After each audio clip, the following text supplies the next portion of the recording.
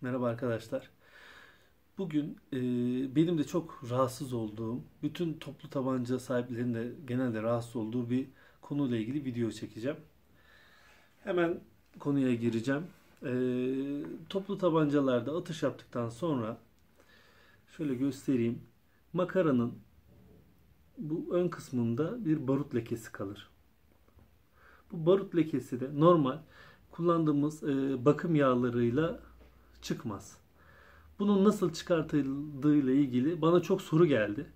Ee, YouTube'da yorum yaptılar onu nasıl çıkartıyorsun diye. Ben de bununla ilgili bir video çekmeye karar verdim. Bu genelde makaralı tabancalarda hep olur. Ee, Amerikalıların bundan hiç rahatsız olmadığını duymuştum. Ee, hatta bu burası daha kara olunca seviyorlarmış. Ama bizde öyle bir şey yok. Yani ben bunu temizken daha çok beğeniyorum. Şimdi laf fazla uzatmadan e, bunun nasıl temizlendiğini size göstereceğim. Bu arada tabancam 357 Magnum e, mod 66-3 e, şu burada yazar arkadaşlar. E, hani ileride alacaksanız veyahut da işte bilgi edinmek istiyorsanız tam burasında yazar ne hangi model olduğunu. Bu mod 66-3 ee, çok güzel bir tabanca. Üzerindeki kaplama değil, orijinal. Yani fazla, yüz atış anca yapmıştır bu tabanca. Kabzesini özellikle değiştirdim. Çünkü e, kendi orijinal kabzesiyle 357 atılmıyor. Yani bile, bileği bu daha iyi sarıyor. Renk olarak çok tartışılıyor. Bazı arkadaşlarım beğenmiyor ama ben beğeniyorum. Mecburiyetten beğeniyorum. Aldım çünkü zaten. Şimdi ilk yapacağımız iş tabii ki temiz çalışmak babında burayı verelim. evet, geliyoruz sırrımıza. Çok kaliteli bir yağ. Bu sadece bakıma yarıyor. Yani oradaki barutu temizlemiyor yani. Beraber de deneyelim isterseniz. Ee, sırrıma mı geleyim? Evet. Sırrımız bu. Şimdi birazdan videoda da göreceksiniz. Bu krom parlatıcı. Oradaki yani aslında bu çok ince bir pasta. Yani bildiğiniz oto boyacıların kullandığı pastadan ama bu çok ince. Yani kromu bile çizmiyor. Ee, size de bunu tavsiye ederim. Ben bunu kullanıyorum. Bazen böyle çok kirlendiğinde yüzünde siliyorum tabancanın ama kullandığım malzeme son aksın. Şu an siz bunun mirror'ını görüyorsunuz ama e, Sonax markası krom parlatıcı. Şimdi buraları hızlı geçeceğim. Ben yavaş yavaş çalışayım.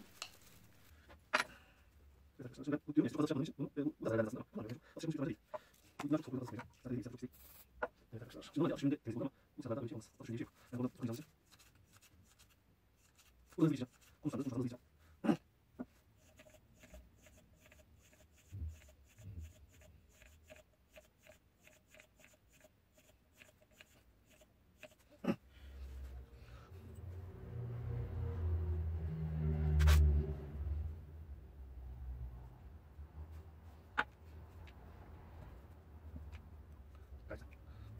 Ona görmenizi istedim. Çok temizlemedim.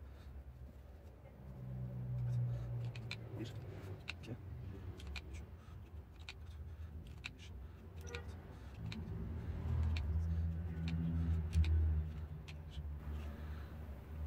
Evet. 12. Her bir top şeyi gayet temiz oldu. Bilmiyorum görebiliyor musunuz? Bakalım. Namlumuz gayet temiz. Şimdi size de biraz önce söylediğim gibi hatta hiç bezimizi kirletmeden bir deneyelim. Mesela bu çıkartacak mı? Siz de görün. Elindeki çıkartabilir diyen olabilir. Mesela şurası deniyorum. Hatta yağlı tarafını sileyim. Bakın gördüğünüz gibi hem burası beze barut bulaşmıyor. Artı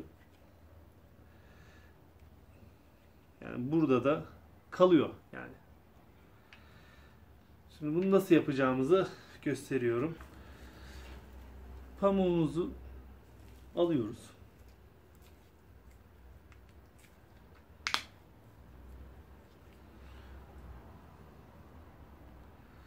Çok az sıkıyoruz. Bunu biraz pamuğa yediriyoruz. Ya zaten normal pastalar da benzemiyor şansla.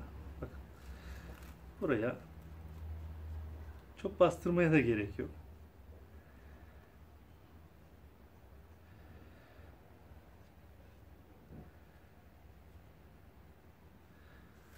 İşte.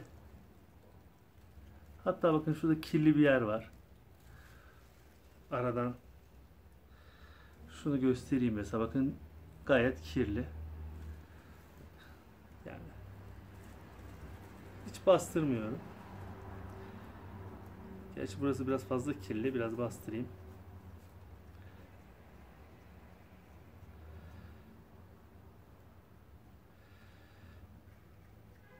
Yani bunu yani ustalar hemen bana şimdi kızacaklar ama sırf bunu yaptırmaya e, silah tamir ve bakım yerlerine gidiyorlar. E, ben denk geldim çünkü orada yapılırken. İşte bakın. Bu tarafı kirli, bu tarafı temiz. İşte bunu yavaş yavaş bütün hepsini de uygulayacağım. Yani tabi ben uğraşamam, ben nereden bulacağım falan derseniz usta yapsın derseniz de git götürüp yaptırabilirsiniz yani bunu. Zorla değil yani bunun, bu işlem içinde ciddi paralar da istendiğini de düşünmüyorum. Git isteyen götürüp yaptırabilir. Mesela şuradan biraz fazla atış yapılmış. Şans eseri galiba hep aynı yere mermiyi koymuşum.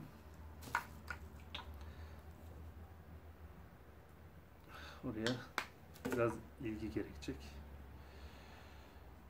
Şöyle yediriyorum. Yani anlaşılıyordur herhalde.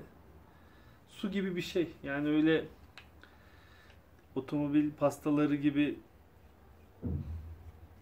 çok yoğun bir malzeme değil.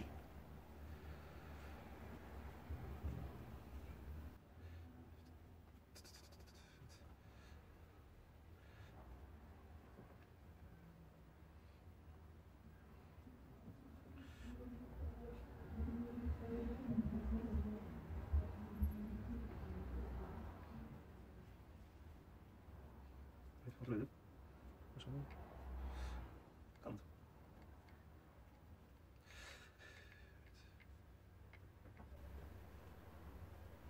Evet. Şöyle göstereyim. Nasıl? Gayet iyi değil mi?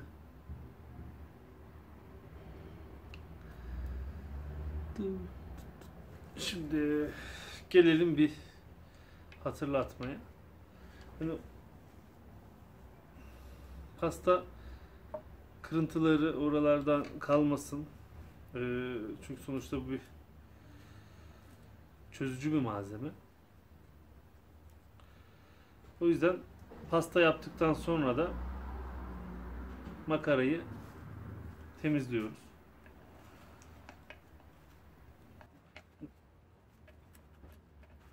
Bir.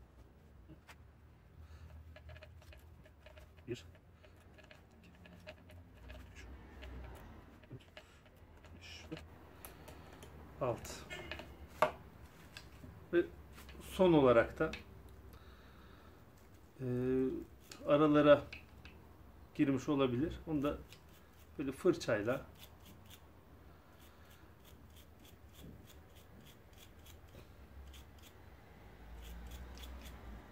döndürüyorsun. Bu şekilde. Evet. Bu iş bu kadar sevgili arkadaşlar. E, aklınıza takılan bir şey olursa yorumlarda yazabilirsiniz. E, devamlı atış videoları çekmeye çalışacağım. Abone olmayı unutmayın. Beğenip paylaşmayı da unutmayın. Sevinirim yani eğer bunu yaparsanız. Evet. Silahı çok yağlı bırakmıyorum işin aslı. Bilmiyorum. Rutubetsiz bir ortamda saklamayı özen gösteriyorum. Çok da kullandığım bir tabanca değil zaten bu.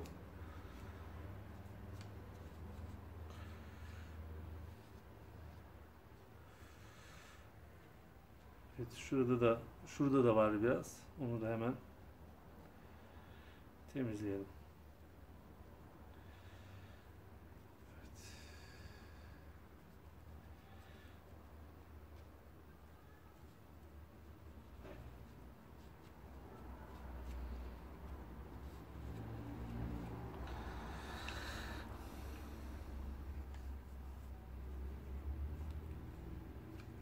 Evet. Evet. Evet, bu iş bu kadar. Hepinize kazasız belasız günler dilerim. Bugün bir video daha çekeceğim. Onu da izlerseniz sevinirim. İşte